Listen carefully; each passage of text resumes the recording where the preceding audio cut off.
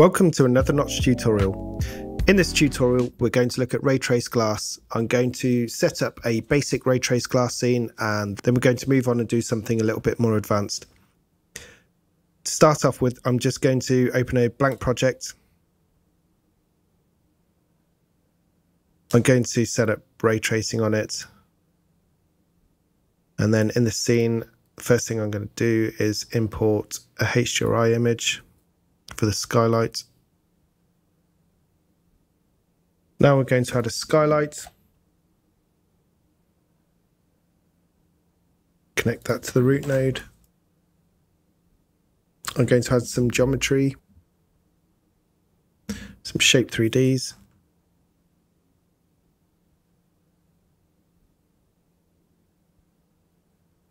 Add those the root node. I'm going to make one of them a plane so we've got something to bounce the light off. It's a very simple scene. I'm going to take this sphere. I'm just going to add a few more subdivisions to it so it looks a little rounder. I'm going to copy paste the sphere so that I can add the glass to this sphere. So I'm going to add an environment image and then I'm going to connect that up to the skylight. Once I've connected up to the skylight, I'm going to pipe the HDRI image through the environment image. So the good thing about the skylight now is you can turn on the visible sky dome from within the skylight. So we've got something to see. So for this shape, I'm going to add the ray trace glass material. I'm going to bring it in. I'm going to connect it up to the shape 3D. You can see that when you connect it up, you just get a black shiny sphere. To get the glass working, we need the path tracer in the scene. So I'm going to add a path tracer and connect it up to the root node. So now you can see the glass working within the path trace scene. There is one other quick thing I'm going to add, which is I want to add some refinement I'm going to add RT refinement to the scene, connect that up. What I want to do is make it refine a bit quicker. At the moment, it's doing 10,000 refinement steps, so I'm going to change this to 50 and just add a bit of AI denoising, just so that it refines a bit quicker and looks a bit nicer in the screen when it refines. So you can see it's just refining it and then blurring out that refinement using the AI denoiser. So the next thing to show you is once you've got ray trace glass working, all the uh, settings on the ray trace glass material are set to optimal settings, so you'll get nice ray trace glass out the box. But what you need to look at is how the path tracer works on ray trace glass. So I'm going to copy this object. I'm going to add glass to this as well. And I'm going to put that object behind, connect it to the root node. And as you see, when I connect it to the root node, the rays will pass through this first glass material, but then they won't pass through the second glass material, so you get black on the screen. Now that's not an error, that's just how the path tracer is set up. At the moment it's only got a refraction depth of 3. So you can see it's seeing this object behind as a solid object because it's not been able to refract through it. So what I need to do is just up the refractions on this. And you can see immediately, as soon as you do that, you can see through the two objects.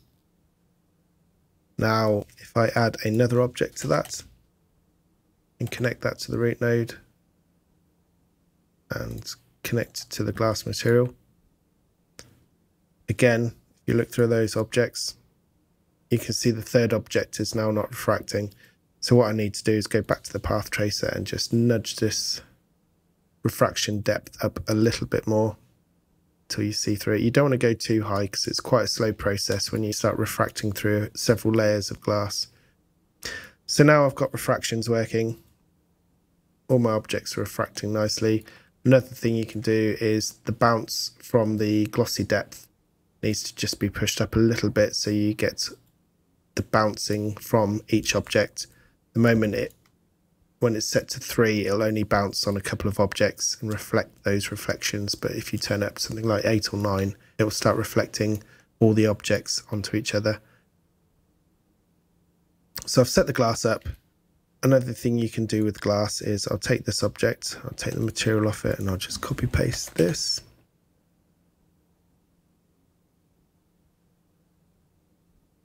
You can do a lot of different techniques with the glass. So if I want this glass to look a little bit rougher and a bit thicker, I can add some roughness to it.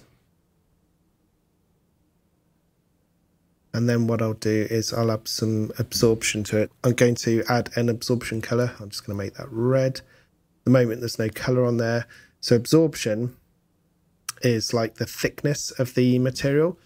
So it's almost like how, not how thick it physically is, but how thick material is and how uh, the speed at which the rays go through it.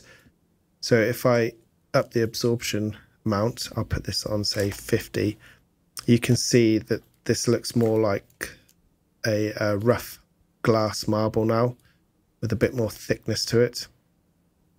So that looks like a completely different material to the uh, basic glass. When you do add roughness to a material, it will take a lot longer to refine something like this. To refine the roughness of that, you may want to put the refinement up to something like five to 10,000 to get rid of the roughness on it. Um, at the moment, I've just got it set to 50 with the AI denoiser just to make it look nice quickly. Another one of the options you have on glass, you can add a diffuse coat color. So this diffuse coat color is just the color of the actual object surface rather than the, the color of the internal material. So this will just add whatever color you want it to be to the actual surface of the object. And you can see how the absorption color on the other sphere actually makes that material look a lot thicker and like the light rays aren't getting through it so much. So what we can do now, now we've got this set up, if we want to just refine this a bit longer, so I'm going to set the refinement to 5000. I'm going to turn off the AI denoising and we're just going to let that refine. Now that's refined, we can see the differences between the materials. Rough glass material is now on the right. It's fully refined and looks like a plasticky glass or a rough marble. The blue diffuse coat in the middle and then the base normal glass on the left hand side. Now this material should be applied to any transparent glass objects that you want to add to your scenes. It can be put on anything from bottles to windows, you have to have thickness to those objects. So when you model them, they can't just be a flat poly, they have to be a thick model. So window, for example, it'd have to be double sided with the edges modeled as well. The reason for that is the glass needs to be calculated how thick it is to how it distorts background, and it has to calculate how the rays from the ray tracing affect it. You need thickness to any model that you make for glass um, otherwise, the objects will be black because obviously the rays will go through the front surface and it will never hit the back surface to calculate how the light's working within them. Now we've looked at this scene, I'm going to set up a more complex scene and run through how we're going to set that up and how all the different glass materials and liquids are set up within it. Thank you for watching and keep an eye out for the next Notch tutorial.